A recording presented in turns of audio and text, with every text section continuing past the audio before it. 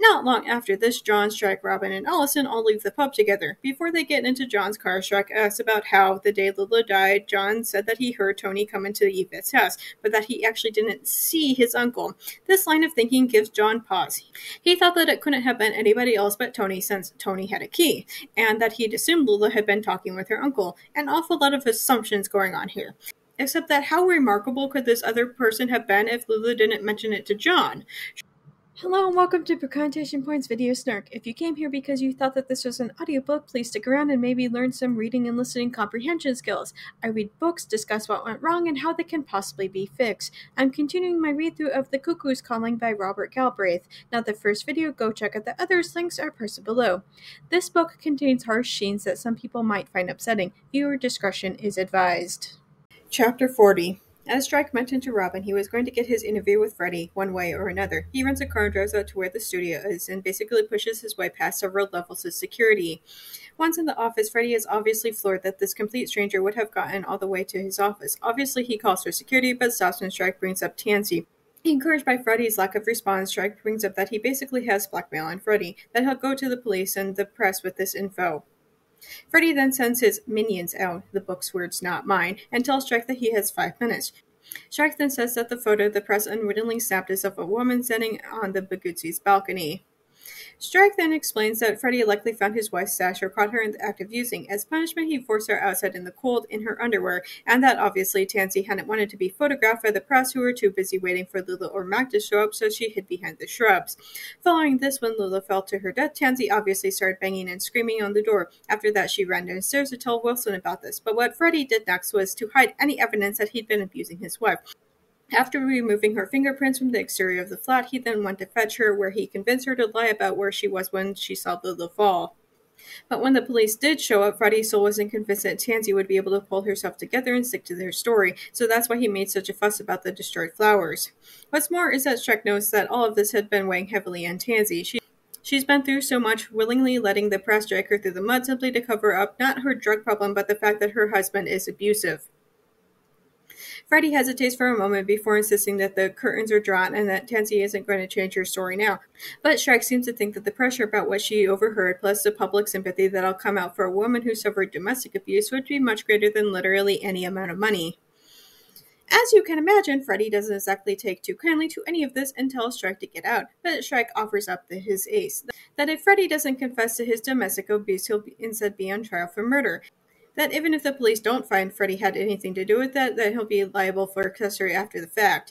Strike seems to believe that Freddy helped the actual killer to get away.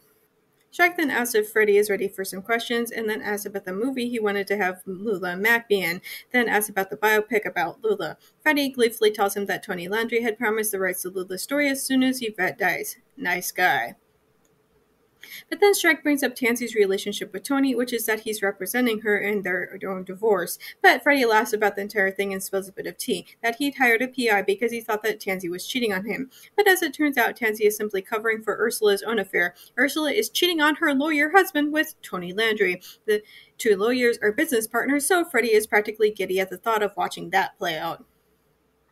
Before he goes, Strike asks Freddy if he heard any noises while inside the building. Freddy admits that he heard footsteps on the stairs but thought that it was Wilson, except that this doesn't make any sense.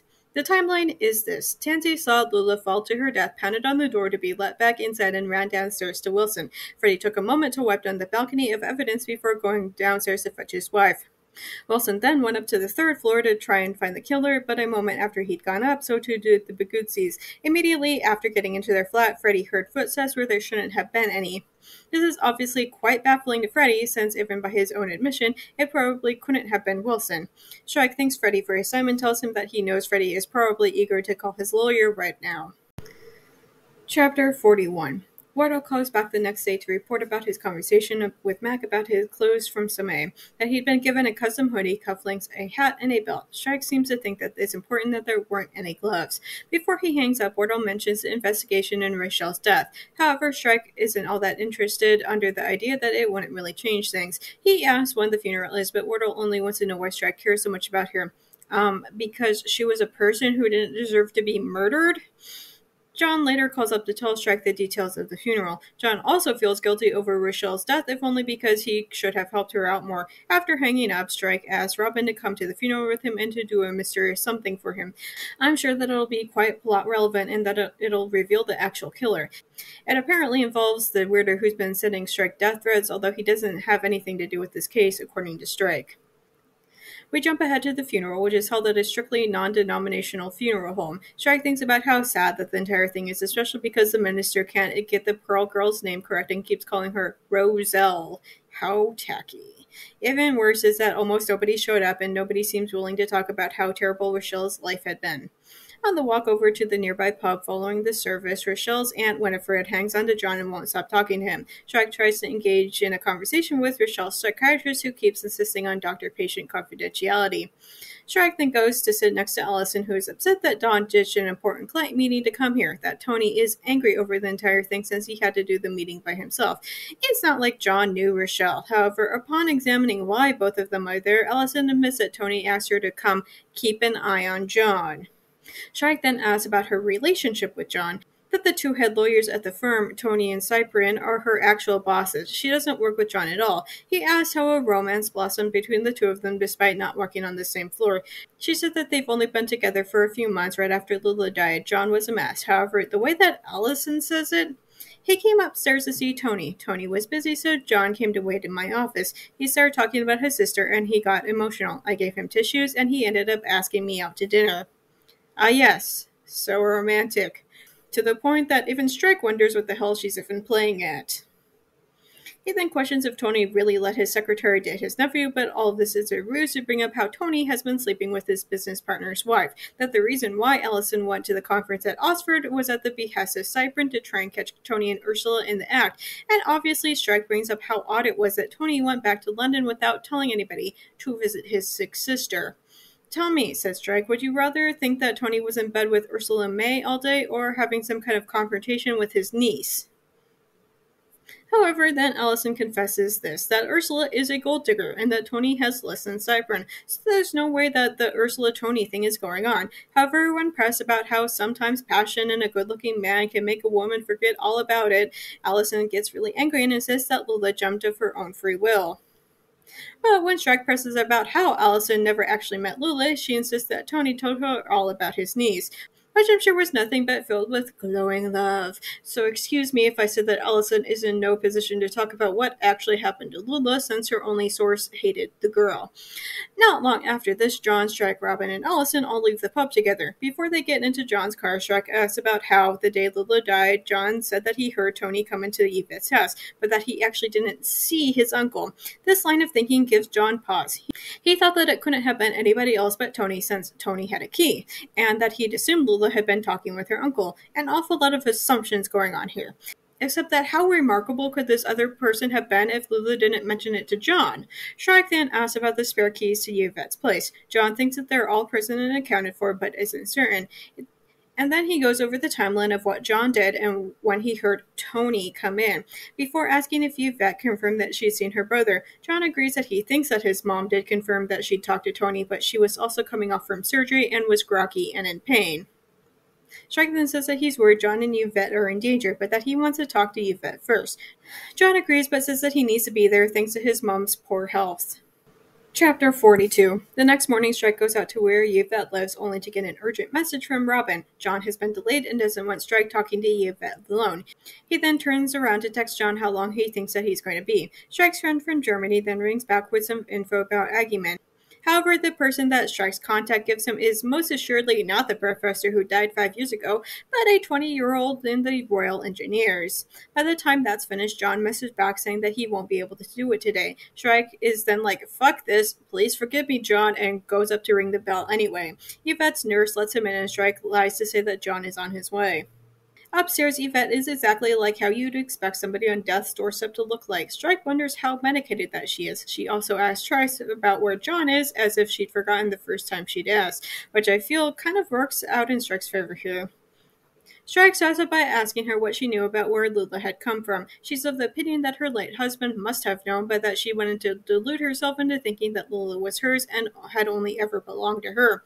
He then asks about Lula's search for her bio family. However, as previously mentioned, this was at the same time she was diagnosed with ovarian cancer, so she was more focused on that, and Tony's anger with how spoiled that Lula was. However, Yvette also says that she doesn't know the details of what Lula found, only hearing that Lula's bio mom was exactly as what Yvette had pictured this entire time. She had no info on if Lula found her bio dad or not. Strike asks her about what she and Lula discussed right before she died. Yvette says that she'd been groggy in the aftermath of her surgery, but that Lula wanted to talk about Charlie and his death. This conversation is clearly painful to Yvette since she's now lost two children. Strike helps her to take some Valium. But then Yvette starts to talk about that day and of Charlie in general.